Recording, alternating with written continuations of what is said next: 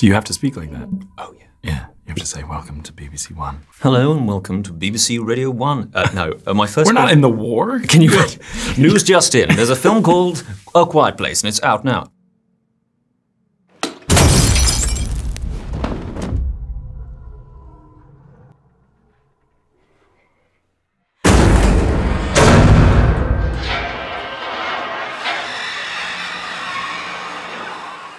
What other titles did you consider for A Quiet Place?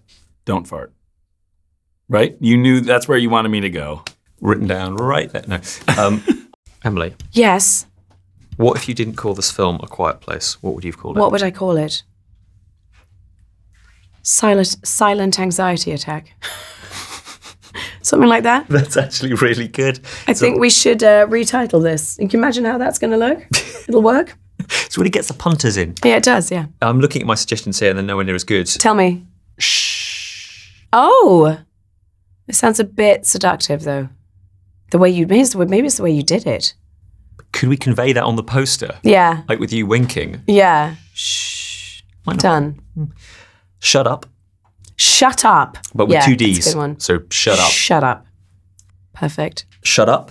Ooh, that's aggressive. It is a bit. But you know who loves it? Who? Kids under 14. For sure. They'd be like, we're going to see Shut Up. No, you shut up. Oh my God, it's a movement. Four tickets to shut up. um, zip it for Austin Powers fans. Okay. All right, zip it. You don't, you can't even zip it. Zip. STFU, which is kind of unpicked by a poster you guys. TFU. STFU. Shut. We mustn't say it. Very rude. BBC. BBC, keep it fresh. And my final one, which I actually saw on a poster and ruined this joke. STFO. Mm. Mm. But it's supposed to be STFU, right? Yes. So I've, I've, I've missaid it out loud. So it's written down that. Wow, this is BBC? I know. I thought it could be better than this. Come on. Should be. Right now, your bosses are going, They- What is he doing? Please fire him. What I- has happened? Speed, 23, take one, tail mark on the day. my question to you is how hard is it not to crack up on this film? Because it's Do you mean crack up like go crazy? well, Because there was that. both, I imagine. Actually, Yeah. first question, not to break and laugh. Second question, to break your mind. My mind was broken. Mhm. Um, we did laugh a lot between takes, but actually during it, we were pretty much in the pocket. Get we on it. really were. I gotta say, there was only one scene. And the only reason why we, we took it very seriously when we were shooting, I think because certainly my wife is mm-hmm. wildly professional in that she is able to snap out of it immediately. Yeah, the scene in the poster where she's in the bathtub, we did one take. Yep. Very intense.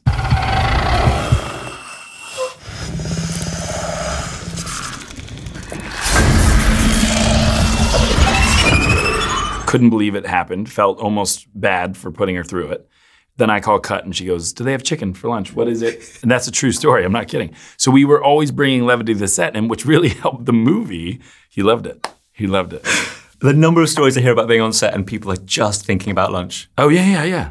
Well, that's all we're getting to, right? That's all we're trying to get to. You wake up. Who cares if the movie's good? Do they have fajitas? That's the question. You might sell this film better if you change the name to Free Food. yeah, free food. Ooh. Now we're now we're there. Aha. Full circle. We got there. Are you a bath person or a shower person? Well, after this film, a shower person. I just cannot imagine you getting in a bath and not thinking, I kind of want to do for bathtubs what Steven Spielberg did for water swimming in general.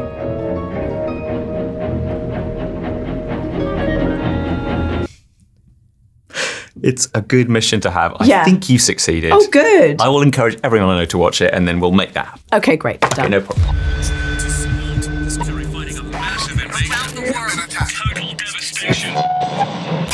Is it unusual for you? Obviously, you've been an actor for many years, but does it ever become normal to be acting off nothing?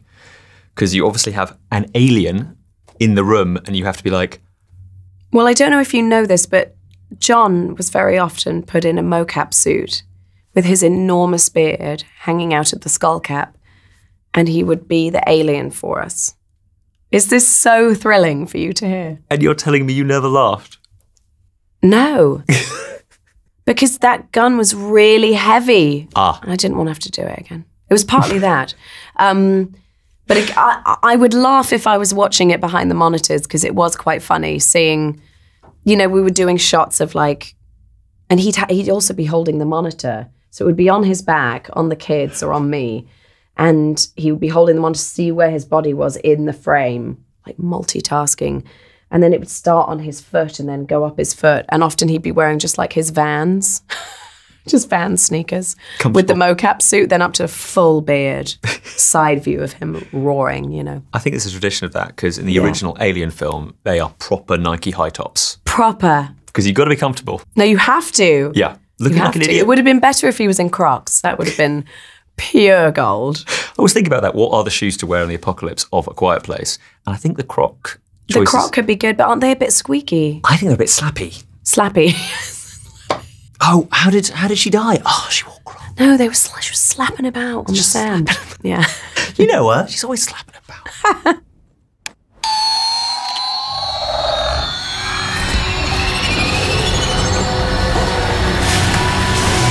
so I'm one of the many people who have seen the film, lucky me, and- Yes. and, love it. Oh, good. So I'm going to do this thing which I like to do every so often, which is Emily Blunt. Could you tell me why this film is so brilliant?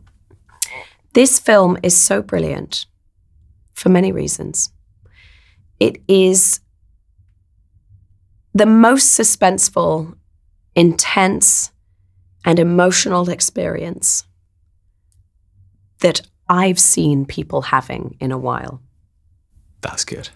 That's good, particularly if you renamed it. What was it again? Panic living. Silent anxiety attack.